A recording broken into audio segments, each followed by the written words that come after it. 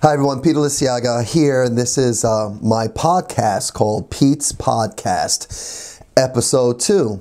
And I'm very excited today uh, to talk to you guys about some of the things that have been on my mind, on my heart over the last several days since the last podcast. And uh, I've been really focused on discipline and uh, just not only for myself, but for my students and for those of you that have been uh, connecting with me, many of you are martial artists, many of you obviously are some are parents out there, and also there are military, law enforcement out there, and um, I appreciate you guys so much. But what I want to do is uh, uh, share with you a book that that I read several years ago called A Disciplined Life from uh, Richard S. Taylor. And I, am not too sure how I got this book, but uh, I know it's old. I think I might have found it in a bookstore many years ago and I just loved uh, you know I've always been into discipline and always focused on being disciplined when I saw the title of this book I opened it up and I, that was it I had to have it and so I got it and I dug it up a couple of months ago just to refer to it. Uh, once again, I'll do that uh, periodically. I'll go to books that I put up in storage that have really uh, uh, been very powerful and impactful in my own life. I'll go back to them and pull them out and revisit them. And so the last time I looked into this book, I believe probably was about maybe eight years ago. It was the last time I looked into this book and I reviewed my notes. So, anyway, I wanted to share some things with you uh, with respect to um, this book. Now, uh, um, let me just read some of the things in. Uh, in the content section, just the content. For, it just says dis- chapter one was discipline, the key to power. Chapter two is discipline, the mark of maturity. And chapter three is the perils of discipline. Chapter four, uh, discipline and holiness. And chapter five, the case for imposed discipline. And then the last chapter is how to become a disciplined person. And I'm going to spend a lot of time on this, this one here, this chapter here, and just pulling out some of the things that I took out of it from my notes in it. But let me go ahead and I uh, took some notes down here, and I'm going to read to you from my notes here, and then I'll get to those points that I got in there. And first, I have on the top here God will not look you over for medals, but for scars. That is another way of saying he does not want soft and untried warriors. In today's turbulent world, we need disciplined men and women, warriors tried, true, and battle ready. The challenge of today's society is in his striving for the way of least resistance, self indulgence, and gratification with no cost. Sacrifice, discipline, and restraint. These words are ideas that are hard to find, let alone expect from today's generation. And those are thoughts that I wrote down afterwards, after some thinking and revisiting my notes and thinking. And I could not help but review this book. And this book was written, I believe, in 1962. I believe 1962. That's one year after I was born. And it's amazing how this information, this book, still resonates today. And so same sentiments. We have different technology, but uh, it's the same today as it was then.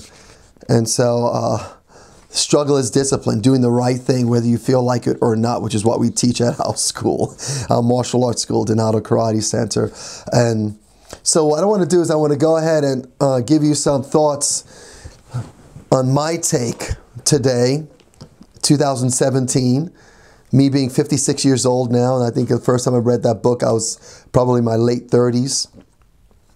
and highlighting those notes. And a uh, um, couple of things here for uh, how to become disciplined.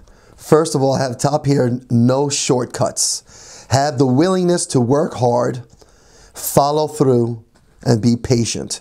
The undisciplined person is forever looking for ways to avoid the hard work and grind, to quickly get to what they want through shortcuts. There are no shortcuts. Yes, you can uh, expedite a situation. If you have a goal, a desire to get somewhere, you can uh, learn as much as you can to uh, to find out what you need to do to get there, but you need to get to work, and it's going to be hard work. And there are no shortcuts. It's going to take as long as it takes. You just need to be patient. And one thing that I've learned at 56 years old is that uh, um, time is going by fast, and it's going to come when it comes. I remember when I was a kid, um, kid being let's say in my uh, late teens, and I'm thinking that you know by 30 by 30, when I was 30 years old, I was looking at myself to be uh, uh, well off and ha have it together and um, living a life of, you know, uh, of, of comfort and not hard work. And I think many, uh, many of you that are my age can relate to that mindset that you thought at a certain age you would have it together and you would be living the life. And here I am, 56 years old, still working hard. Now I've learned to enjoy every moment and live in the moment, live out loud because life is short. And I'm enjoying that. But what I've also learned is that there are no shortcuts to uh, um, accomplishing goals uh, as far as the big goals that, uh, like for instance, uh, um, having a, a, a, powerful marriage that you can really uh, um, not only uh, grow with and enjoy, but also uh, share with others and just have an exciting marriage. That takes time and you got to build up. It doesn't happen overnight. It's constant and never ending work on it. It's hard work and it does get easier, but I think the easy is not so much in uh, in the hard work, but you it's easy because you get used to working hard and you get used to putting your hands to the plow and, and moving. You get used to not giving up. You get used to being persistent. You get used to being tired and exhausted, but yet not giving up. So you get used to that and you get accustomed to that. And so, but there are no shortcuts. It doesn't happen overnight. The next thing I have here is uh, uh, where or when to begin. My answer is simple here and now. Start with the little things, get up early, brush your teeth, shave, eat breakfast, exercise, have good hygiene, get clean, schedule your day, and be on time, be punctual, and things like that. Start with the little things, but start when? Now. Where? Here, right here and now. Okay, and uh, um, a lot of times I'll have people come to me and say, hey, Pete, you know, I, I want to, you know, lose weight or I want to start exercising or I want to do martial arts. I want to do jujitsu. I want to do this, do that, blah, blah, blah. So, uh, you know, when do, I, I don't know when to start or how to start. And I said, well, right now and just start with the little things. And so uh, that's, that's my idea mindset behind that. When to start, here and now. Next thing is, you know, to become disciplined. How to become disciplined, train the body. Exercise, eat healthy, rest, and be aware of and practice a relaxed, steady control of body movements. Fidgeting, nail biting, constant body shifting and, sh and scratching. And this is not only a sign of nerves, but it feeds that condition. It's also uh, also bad habit, right? Bad habit. Now, bad habits, and I'm not talking about something that's physical or a neurological condition, but just plain old bad habits. Stop the bad habits. Be aware of them. What are you doing that are bad habits? Stop it. The tapping and and it's funny that they have these little devices they call fidgeting devices. I don't know what they're called. They're fidgeting. Kids are doing it, and it becomes uh, it's it's it's an incredible and interesting thought behind this. You know, somebody is tapping on the paper like this. They create these devices for fidgeting where they can start making noises with these things, just twirling them. And I, I don't get it. I really don't get it. The bottom line is your fidgeting is a bad habit. Stop it.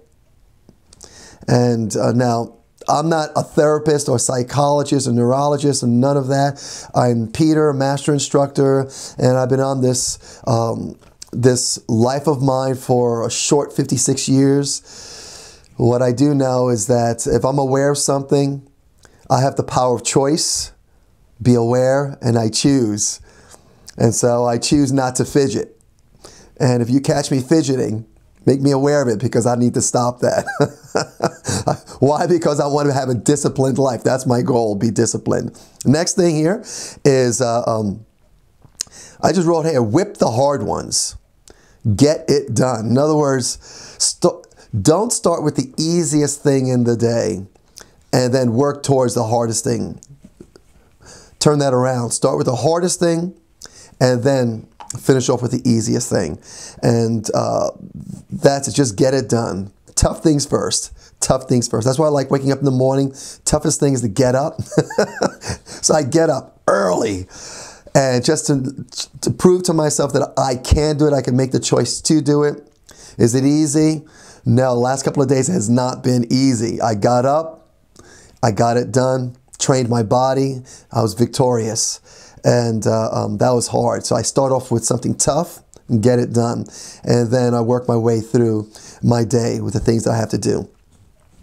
Next on the list here for uh, becoming disciplined is cultivate punctuality. Make yourself on time. I'll say that again. Make yourself on time. Being late is a bad habit, and that needs to stop. And you got to keep in mind, uh, courtesy and the respect of others demands it. There are people in our lives that look forward to seeing us, that rely on us. And uh, it's disrespectful uh, to be late, disrespect to life, to what we have, uh, that the blessing of time.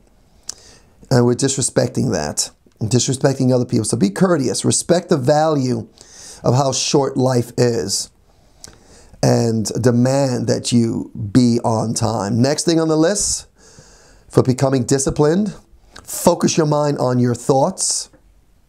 Oh, X that. Focus your mind and your thoughts. There is no room for an unorganized mind in the mind of a disciplined person. Get into the practice of quiet and peaceful visualization without any external stimulation. No TVs, no music in the background, Nothing. Nothing going on. Just stopping, being quiet, being still, and just relaxing your mind, being at peace. And that's a good habit to get into. It takes discipline. But disciplining your mind to do that is, uh, is a powerful thing. And so if you want to be disciplined, do that. Next on the list, exploit the unexpected. And I wrote here, taking advantage of the twists and turns, the ups and downs of everyday life. Life is going to happen whether we like it or not. Things are going to keep going. You can plan your day. You can have a schedule. It could be rigid in that, but life will throw things at you. So we have a saying, and I first heard this with uh, from Dave Kovar, and a martial artist, eighth degree martial artist, one of our uh, my mentors he says, Peter, in your, in your rigidity, be flexible. so have flexibility in your rigidity. And so be structured, be disciplined, and maintain your focus on what you need to accomplish, your mission, your purpose.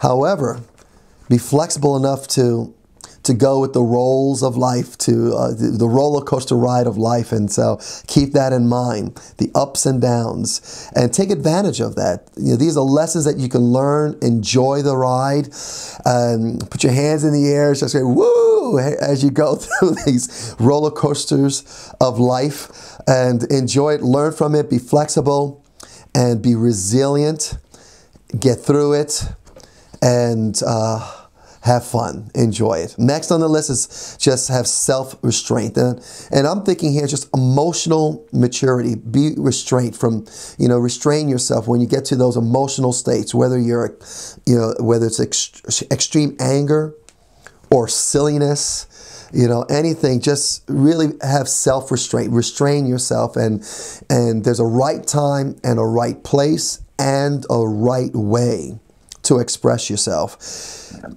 make sure you uh, maintain maintain that discipline. Next on the list is conquer your appetites. Do not overindulge in anything. Everything in, in its right measure is fun. And I'm talking about healthy things, things that are going to be productive and, and improve your life, not destroy your life. Be uh, like food. Hey, I like potato chips. Many of you know that that's one of my things. I enjoy potato chips. It was, it's not uncommon for me to sit down with a whole bag of chips and uh, just dog those chips. And if you try to take one of my chips, I will attack you. I will storm your castle, burn your fields, and steal your chickens, and and take your bag of chips. And how dare you try to take one of my chips from my bag of chips? But but I, I indulge in that. But I don't do it all the time. So we have to maintain discipline in that and our appetites. And of course, we know what we're talking about. Use common sense, and let your common sense be guided by your purpose and your mission. So enjoy life, enjoy the things that life has to offer, but in the right measure. So conquer those appetites, control those appetites, be disciplined. Moving on, learn to respect time. And it goes back to punctuality, but here, respecting time, remember that the greatest things in life does take time and don't have, as many of us have this, I want what I want when I want it and I want it now. We have that attitude. And we have our kids that are growing up with that attitude. And the media shows that, and you get instant gratification. And so, uh, great things take time. Learning, wisdom takes time. You can go to school, you can read a book, you get information and knowledge but wisdom, you have to live a life to, uh, um, to get wisdom, and that takes time. And things that I knew 20 years ago that I know today, but I know it today because I've lived a, a life and I've seen these this information that I learned 20 years ago practiced and lived out and now I have the real life experience that wisdom so it takes time there's nothing can be avoided by that. I know my grandfather you know, passed away when he was 98, and he told me in his early 90s that be, continue to be a st student, never stop learning, and uh, you're going to continue to learn. But as you get older, uh, those lessons are going to become more and more uh, um, profound for you. And so, wisdom. So that takes time. I'd love to have the wisdom that a hundred year old has. But that's going to take time. It's going to take 100 years. It's going to take me 44 more years. So I got 44 years to 100. And so I'm looking forward to that day when I'm 100 to look back and uh, to look at the things that I think that are important today and look back and say, and, and, and just realize, you know, uh, 44 years from now, what's really important.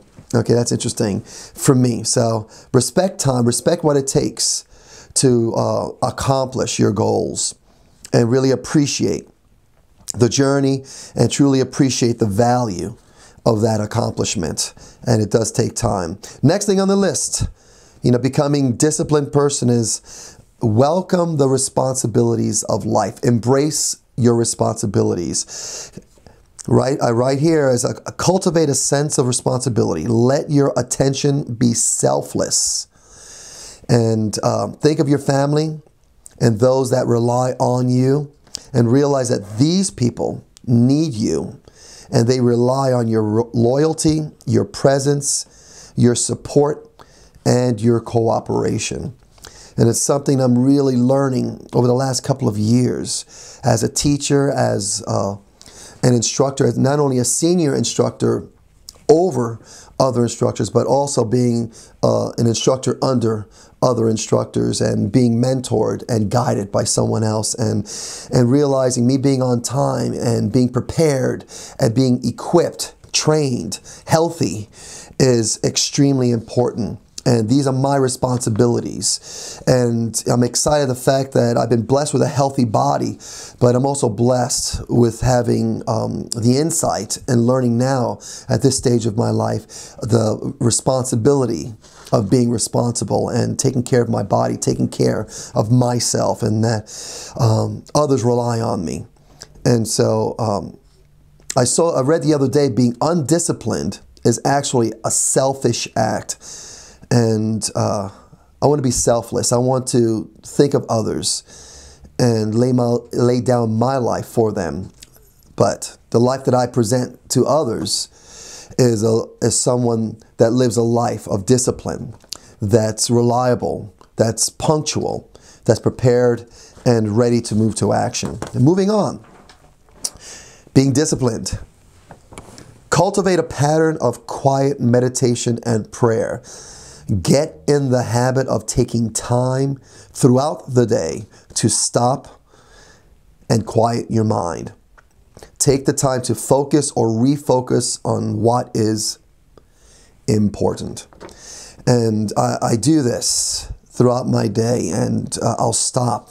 Right before I, I did this podcast, I started recording I studied, went over my notes, did some editing, did some more research, got this together. Then I took a break, took a pause, just five minutes. It just cleared my mind and and uh, you know uh, meditated a bit, breathe, uh, uh did some breathing and short prayer because I want to make sure I stay focused and then I came on here. Then later on, I'll do the same thing. I'll do it right before I go and teach martial arts later on. And it's a habit that I've created throughout the day. I sometimes even do it if I'm in a, if I see a situation getting stormy, where also I'm getting this roller coaster is going up, click, click, click, and I'm ready to go right down really fast. It's going to get pretty wild. I, I find myself just pausing, taking a breath, and taking a quick moment to prepare and quiet my mind, quiet my body, and get ready. And then I just get to it and get it done and enjoy the process. So get into the habit of cultivating a pattern of, of quiet meditation and prayer.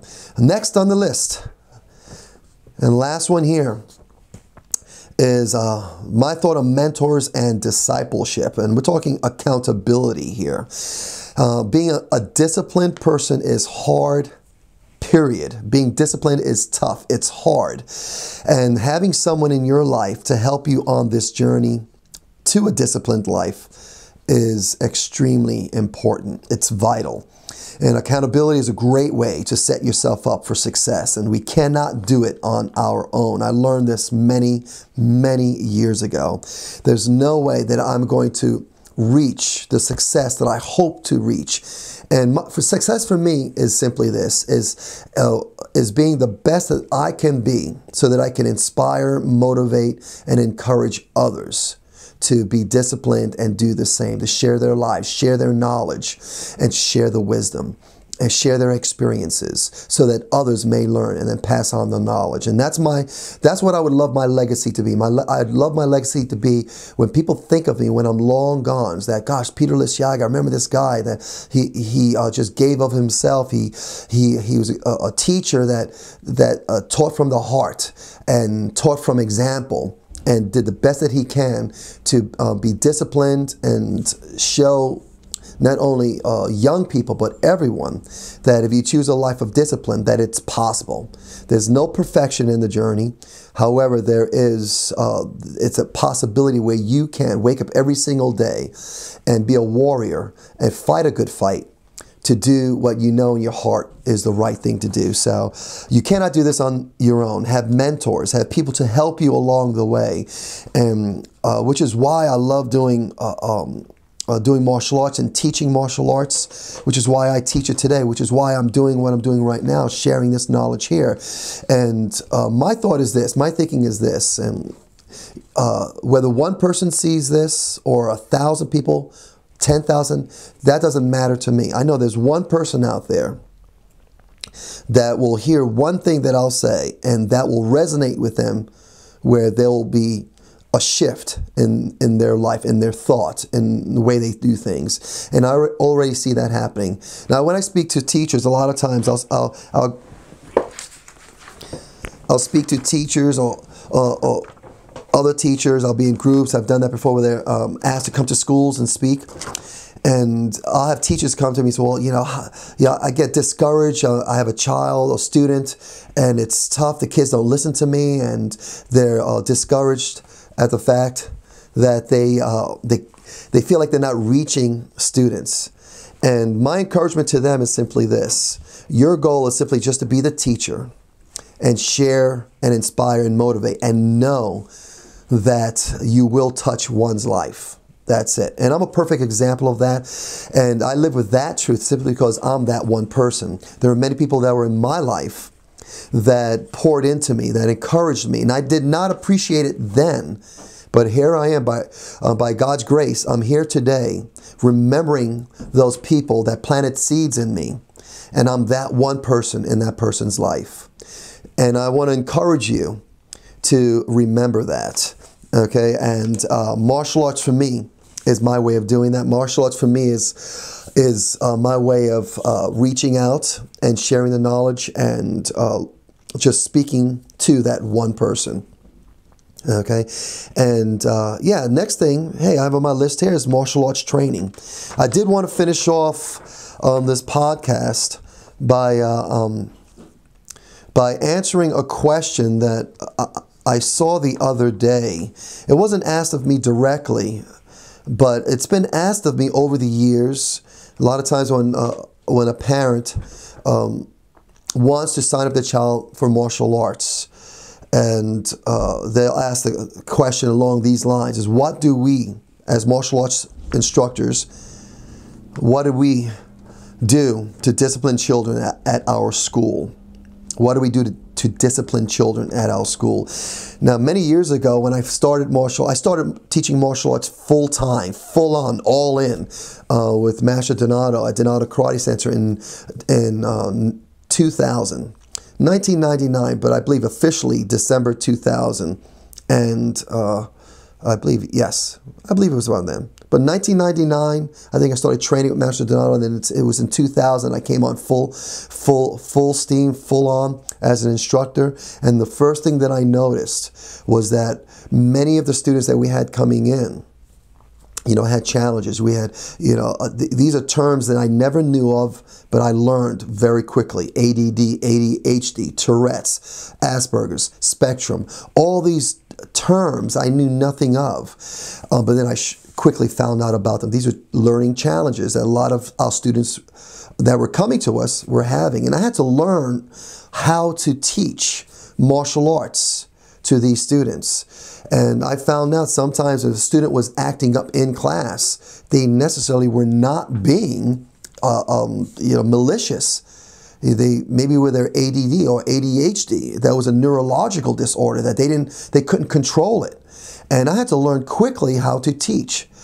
And so over the years, Master Donato uh, worked with other instructors. We came together and we found ways that we can teach our instructors on how to teach, how to run a class, where within our class we'll have all these students coming from all kinds of uh, um, challenges, backgrounds, and uh, many times parents bring their children just for that reason. Say, hey, look, my child has this challenge. They don't have discipline. They don't listen. They're unfocused. You know, um, they have emotional out, um, you know, uh, anger outbursts. Help me, help me, help us. And they bring us to bring them to martial arts so that we can help them with us. A lot of times students are coming to us um, because the parents, uh, many times, parents don't know what else to do, so they bring them to us. And of course, we have students that come to us, parents that just want the kids to have fun. They want the kids to, you know, have a great activity. They want them to learn self-defense. All that, we have a lot of students that come for that, but we also have a significant amount of students that come because uh, uh they need discipline. And so parents ask, you know, what do we do? As a martial arts school, as martial arts instructors to uh, um, discipline the children. And so what I want to share with you is what we do, what we actually teach. We do teach our instructors what to do. You know, what do you do if you have a child in your class that's just misbehaving for whatever reason? You're telling them to do, do something and they're just simply not doing it. What do you do? And I know when I started martial arts, there was physical punishment. I know when I was in Catholic school, uh, you know, they had the ruler, and they also had the uh, uh, the bottle of soap. If you were not to speak, uh, you know, the way they would like you to speak, whether you would curse or you'd be very disrespectful, they'd wash your mouth out with soap, which was not a good experience. Yes, I have experienced that. Or if you did something, the teacher would then slap your hand with the ruler and uh, physical punishment. Yes, I've experienced that as well. We don't do that. Uh, as instructors, we don't do that. We found better ways. We're smarter now, more intelligent, I would like to think. And uh, so there are things that we do do, and there are uh, uh, strategies.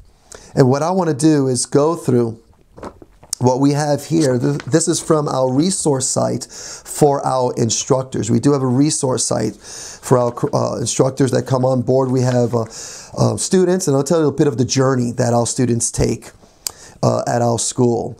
And first, they come on as a student, they train for a while, they commit themselves, they get into a habit, and they uh, they apply themselves. They're training consistently, regularly. They progressing through the ranks, and then they may, then they say that hey, you know what, I want to become a black belt. They commit to black belt, and then they say that hey, you know what, I want to be a leader as well, a role model. And so we start training them, giving them um, uh, opportunities to be that role model.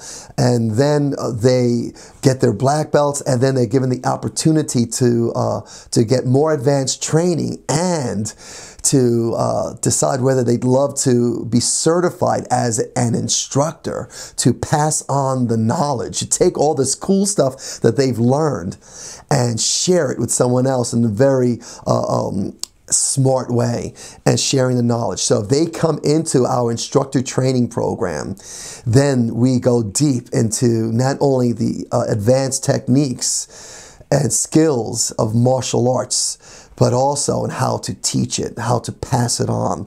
And we have uh, um, a lot of information that we share with them. It takes time. Of course, nothing happens overnight.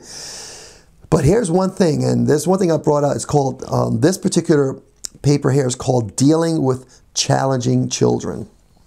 And uh, number one thing that we have on this, we have one, two, three, four, five, six, seven, eight, and nine different things that we teach our instructors. First thing is that we teach them not to prejudge. And uh, we have to believe in our students. We have to believe that no matter where that child is, no matter what they're doing, we have to see uh, beyond that. We have to believe in that child that they have value, they have qualities, they have talents, they have skills, and they have what it takes to be successful. And so we do not judge them on their actions initially. We look at what they're doing, that gives us information this way. It helps us to decide on how we're going to communicate with that student. So we don't judge. We evaluate, yes, and we decide the best course of action for that unique student, uh, but we believe in them. We believe that they can be successful. That's number one, believe. Okay. Next, number two is we build a rapport.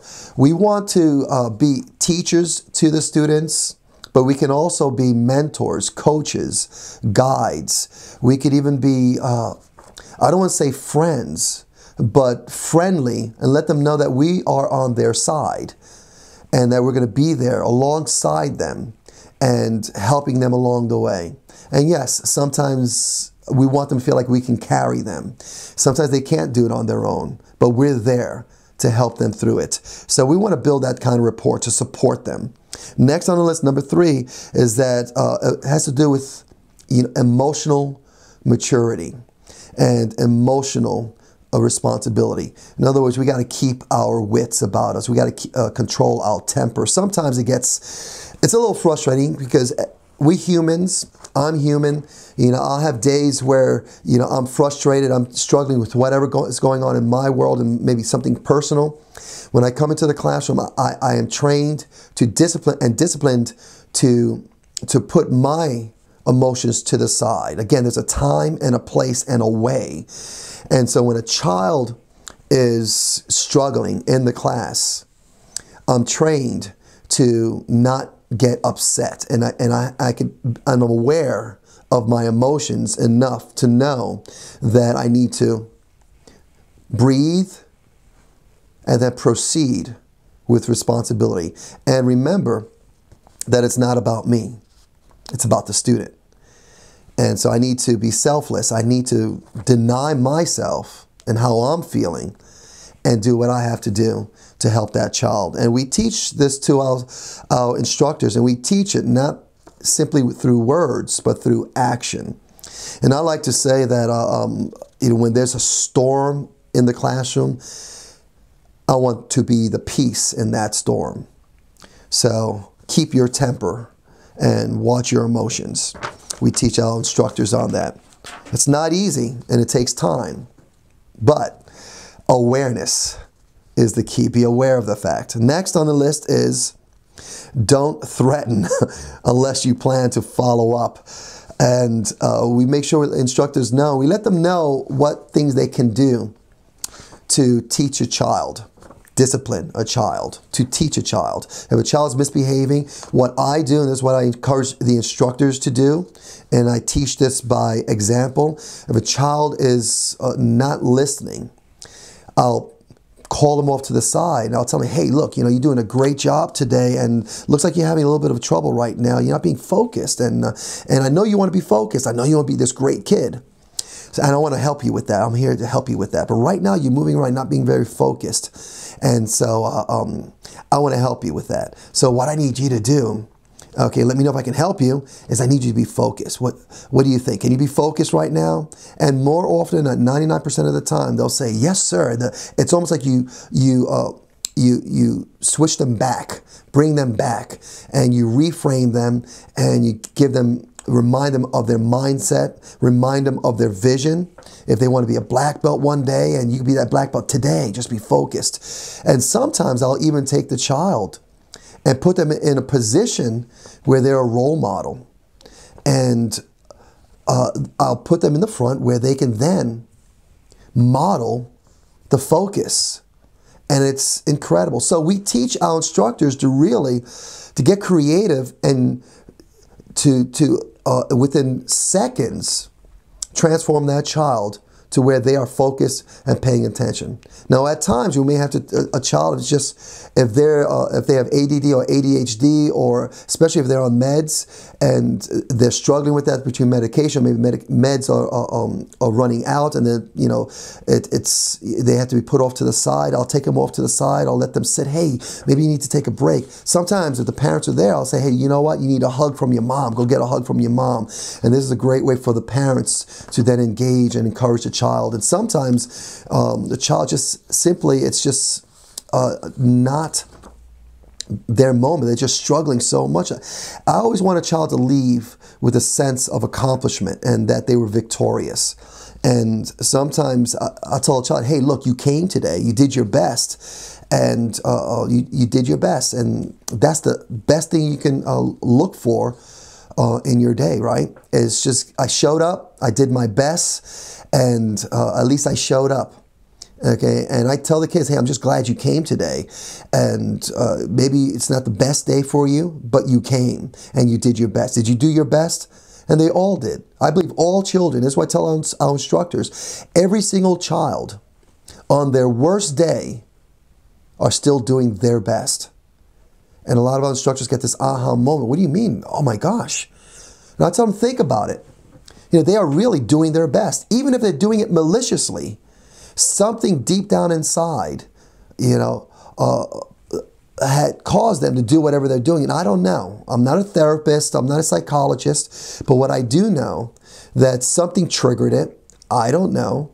So at this moment, their actions, that's their best in that moment. So I appreciate that. They showed up, they did their best, and that was their best. As long as I don't lose my mind, I don't lose my cool. Because when they lose their control, they lose their cool, they don't have focus, when the students don't have their focus and they're all over the place and they're struggling, uh, when they look at me, I want them to see calm, peace. It's no big thing. It's okay. This is life.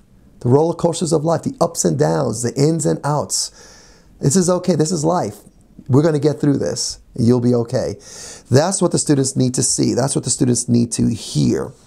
So uh, don't threaten unless you plan to follow up.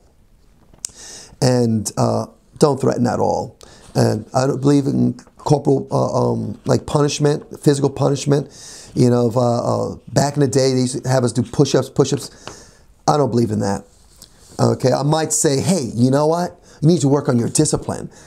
Okay, you know what builds discipline? Physical fitness. Yeah, getting strong. So let's get your body strong to make your mind strong to get you more disciplined. So let's drop down to uh, do some uh, some push-ups, jumping jacks, burpees. What do you want to do? What's fun for you to get strong?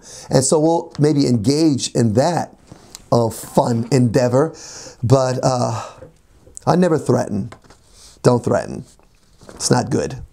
Bad. Next on the list be fair and make sure that the punishment fits the crime. Again, goes back to what I previously said. Uh, if a child really is not um, listening, and you've established that the child is just, you know, being uh. Maybe they're testing you. We have children that test us. They'll test me, and I'll say, "Are you testing me?" That's okay. I'm up for the challenge. Okay, and once uh, I uh, I build a rapport in that moment, and help the child see that. And once the child realizes, gosh, you know what, I did mess up, and uh, they sometimes need time for this, they'll come back and they'll apologize. I'll do this. I said, you know what, I appreciate your apology.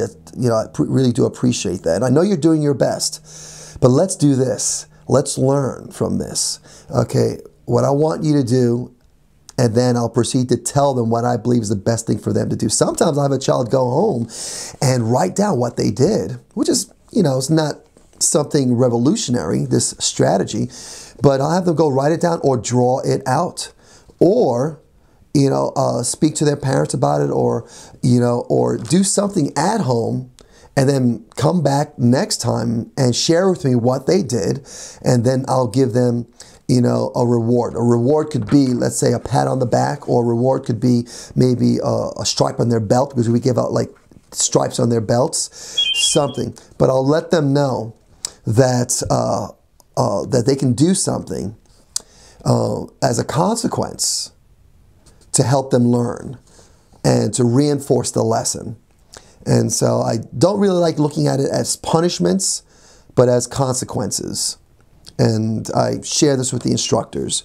And that's my mindset, and uh, and I model that, and hopefully, when they are what they being the instructors are watching, that they will then uh, see that model and how I teach.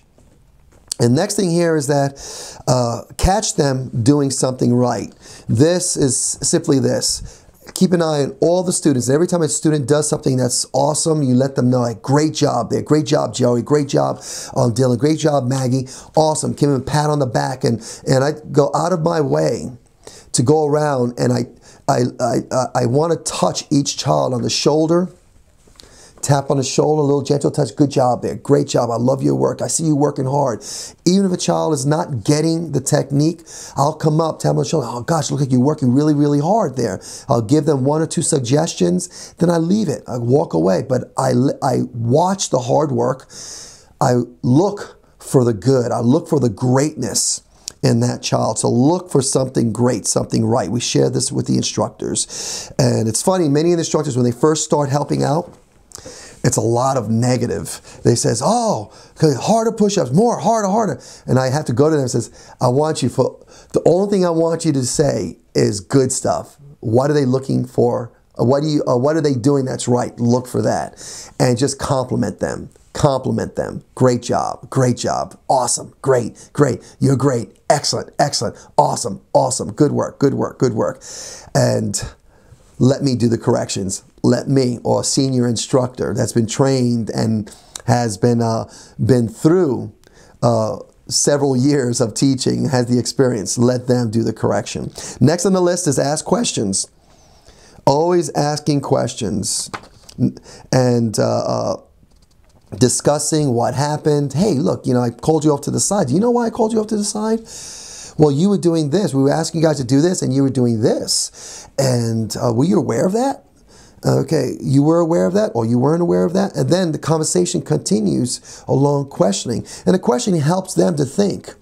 And then you also get feedback from them. So then that helps you to then proceed. So we teach our instructors to ask questions and ask questions that they can then build on. This way as they can move forward. And number eight is uh, expectations and feedback. Give clear expectations. Okay, kids, I want you to do this high block. I went over your head like this. Okay, guys, and uh, let me see how you guys do it. Ready go one, two, and then you watch it. You give them what you expect them to do. Then you watch it, and they give them feedback. Oh, that's great. Go A little bit higher there, Tommy. That's good. Okay, good. Don't cover your head. Okay, do it stronger from that from the outside, from the inside, and you give them feedback. Oh, that's great. That's great. That's excellent. Excellent. Do it this way. It makes it better. Give them feedback, constant, never ending feedback. And one thing, last thing we teach is this idea. We got it from Steve Covey. Seven habits of successful people is seek first to understand. So empathize. When a when a student is doing something that is disruptive to the class, stop and and really take the time, take a moment to understand that student? What's going on with that student? If it's a new student, uh, you have to say, well, I know nothing about that child. Is, does this child have ADD, ADHD? Do they have, uh, um, are they on the spectrum? You know, you don't know. And if, if none of those, did something happen at home today or something happen at school? And start asking yourself, you know, uh, uh, and getting understanding of what possibly might be going on in that child's life and really start empathizing and understanding, not accepting the behavior, but seeking first to understand that there's something more to it than just what you see. And I learned a long time ago, a long time ago, a long time, yeah, long time ago, that uh, it's not about the behavior as much it is about the heart, what's going on in their hearts what's going on because the behavior is just a symptom of what's going on deep down inside. Now, again, I'm not asking our instructors to be therapists, psychologists, uh, none of that, but it helps us as instructors to see there's more to it than just the behavior. Hope that makes sense. So, anyway, uh, that's what we do, that's what we teach, and how we teach discipline and how we discipline our students in there. And I've come a long way in the martial arts world in how we um, teach our students. And um, we always uh, make sure that our instructors know what to do. So I hope that was helpful. I'm looking for my last paper here because we're going to go ahead and go ahead and close up. I appreciate you guys for spending the time uh, with me, and I hope that uh, you got some uh, uh, some cool ideas, at least some insight into my mind, and hopefully it was helpful to you. And I know there's one of you out there that it was, and I, I truly believe that. Uh, share with me what your thoughts are. Share with me uh, some suggestions that you might have. And I'll let you guys know that uh, I always believe in positive feedback. And uh, critique, that's great you know, and I, I love critiquing, and one of the things that I, uh, I, I do, that's why I have mentors, people hold me accountable, is that I want them to look at what I'm doing and say, hey, look, if they see something that they believe that's not productive, that's not positive, let me know because I need to know whether uh, um, uh, making a positive impact or a negative impact because I don't want to make a negative impact. That being said, I know that uh, that great lessons come through challenges, and so. Uh, if somebody gives me a critique, if you give me some feedback, uh, I, I, positive or negative critique, uh, I will filter it through um, uh, through this filter of uh, is it something that's challenging to you? Or is it something that definitely is uh, um, destructive? And I don't want things to be destructive. Challenging is different, okay. But I'd love to hear your feedback. And the last thing I want to leave is, uh, is this uh, just this idea of uh, supporting the work, and the work there's being work uh, work being done in our community through uh, um, people in your community, uh, through the businesses, through uh, uh youth organizations, religious organizations, uh, and find out what's going on in your community and share that. Share.